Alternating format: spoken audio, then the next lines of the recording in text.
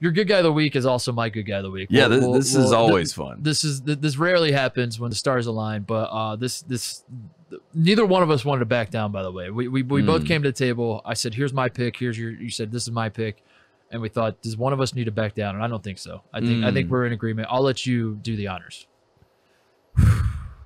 We were asked once upon a time if we had to, you know, identify a program in college basketball, who we would be as Titus and Tate. And unanimously, you and I looked at each other and we both said at the same time, three, two, one, Baylor. so I say all this with fuel, like uh, like fueled with love. You know, 21 days, they're on a break. Uh, they are, you know, they were the number one shooting team in the country, right? Yeah. Before they go on COVID break, and then Scott Drew, who has been a good guy. I mean, he probably is the the basis of what we've talked about when you think of a good guy. Not that he's gotten fired, but Scott Drew checks all those like tenant I saw an like, article call him the Mister Rogers of college basketball. Good guy. That's, a good guy. That's a pretty good guy. So Scott Drew, in that sense, we've been waiting for the week, and it's not to say that Baylor, you know, hit the panic button. We're concerned about, you know, the the the the full picture of who you guys are as a team, as a contender. But we do have to say this is the first chance we have to jump out and say, Scott Drew, you're a good guy. You're a good guy. So that's all it is. You know what I mean? I'm not really worried about Baylor. He said that the I- COVID protocols were kryptonite, quote unquote. Those were his words, Scott Drew. And I agree with that. I mean, it's tough to come off that. They, they struggled Now, shooting in the first game. the Michigan Wolverines, Tate, were on pause about the same time. They come Mm. back, they smoke Iowa, Yes. they beat Ohio State, See, they beat to them, the protocols is secret stuff Yeah. and not kryptonite. The, the difference, I will say this, and every Michigan fan will take this as me on them because that's just how they take everything that comes out of my mouth. yes. Um, I'm not. I'm defending Baylor because uh, Michigan did not have, to my understanding, Michigan's players did not have cases. Like they, they went on pause because it was like the health department the state of it was Michigan. the school, yeah. They're like the school, like the whole- the yeah. athletics but department the, as the, a whole. the team yeah. itself didn't really have cases. I don't think. That's my Mhm. understanding. Mhm. Whereas Baylor, I saw as many as eight guys had on the team had COVID. So uh, I don't know. You know, maybe that's an excuse. I don't. Maybe it's somewhere in the middle. Maybe I mean Kansas played them well the first time they played when they played in Waco. Kansas played them well, and Baylor was Baylor was Baylor back then. You know, and they played them well. So maybe Kansas still wins this game. I don't know, but uh, they Baylor did go six for twenty six from the three point line, Yep. and I don't think that that's happening. They shot 42% as a team. Yeah. you know, before they go on break. So uh, you, you have to think there's some sort of return to the mean that's going to happen Yeah. with this team as far as them being able to shoot. But there is that question of, you know, have we lost something here? Because Iowa Yeah. State is the same thing. I think I can't remember exactly what the number was, but I think they made five threes in that game. Yeah. And they took much more than that, maybe 25 plus.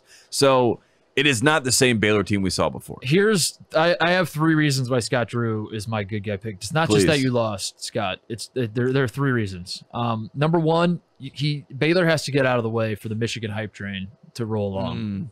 right? Mm. So the Michigan hype train is, I mean, we I, I I'm not sure I've ever seen anything like this before, Tate. Yeah, The- shoot him the- to the moon. the the Michigan fans are are foaming at the mouth in a way that like Gonzaga's undefeated and they've beat every team except West Virginia by double digits. They I, I looked it up today. I think like 16 of their 24 games they won by 15 plus. They're not just winning by double digits. They're they're wiping the floor with everybody to the point that like if Gonzaga is with the if it's if Gonzaga's up five at halftime, people like freak out and they're like, oh my god, they suck.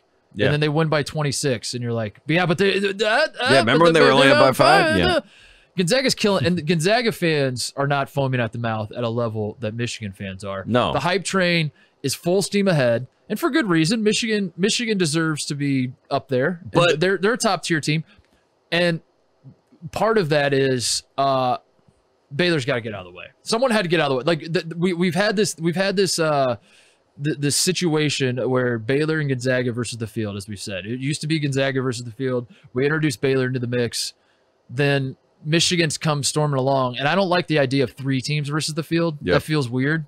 At this point, you're, you're getting too. There's too many seats at the table. Someone's got to go away if we're going to do a two team versus the field situation.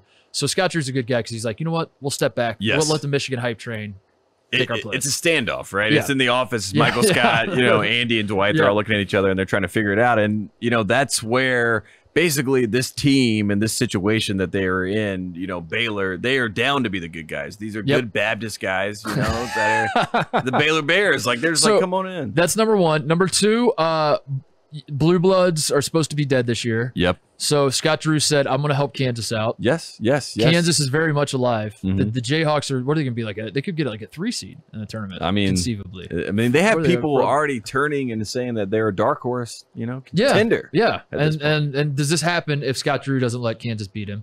Probably not. so that's not. a good, he's reviving the Blue Bloods. Number three, and this is Galaxy Brain, so stick with me. Uh, Scott Drew is aware that the 1976 Indiana Hoosiers are college basketball's last undefeated team. Now he understands if Gonzaga and Baylor were to meet in the title game, like everyone suspected would happen before Michigan got really good out of nowhere.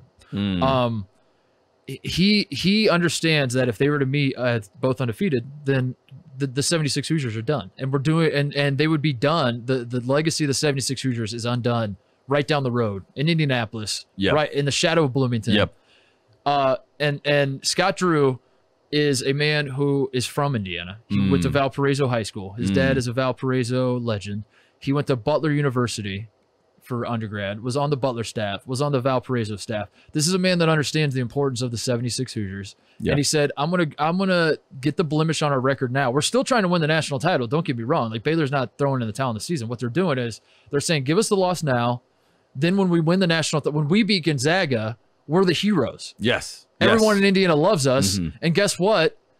They hate Archie Miller. Yes. Yes. And I just won a national title in Indianapolis Mm. to preserve the legacy of the 76 Hoosiers. And all of a sudden, the Indiana Hoosiers need a coach. Come home, Scott. Mm. Brad Stevens, you're old. Get out of here. Mm. We want Scott Drew. That's that's what's going on in his head. That's what all of that was going on in his head as his team shot six for 26 from the three point line. I can only imagine Homer Drew's kid going to coach IU. I feel like that is, you know, some some deep level, you know, That's Hoosier. That is Hoosier hysteria at, at its finest. Brad Stevens. In fact, if Brad Stevens saw this transpiring, I feel like you would have to get in He's front gonna, of it. he's gonna stop. He's gonna Uh, he's gonna, way. he's yeah. gonna literally step down in the middle of the season. Everyone's Yeah. be like, "Where is this coming from, Brad?" and we He's get like, a Are you watching March? Scott Drew. are- are- are you watching the Baylor Dude, Bears right telling you. now? I'm telling you, Yeah. if Scott Drew beats, if Gonzaga's undefeated, Baylor makes it, um, and, and it's Gonzaga Baylor in the title game, and Baylor beats Gonzaga to to end the undefeated season, preserve the legacy of the Hoosiers. It's an Mm. Indiana boy doing it. Mm. Every IU fan's like, I thought I wanted Brad Stevens, but honestly, Give I, us Scott I, Drew. I, I gotta, get, I gotta get a little bit of Scott Drew. I'll take Give me a little kid. bit. Yeah, give me a that's it. bit of Scott Drew. Hey there, thanks for watching Titus and Tate. For the full friend of the program experience, subscribe right below and come join us for all things college basketball. The action is heating up. Come join Titus and Tate.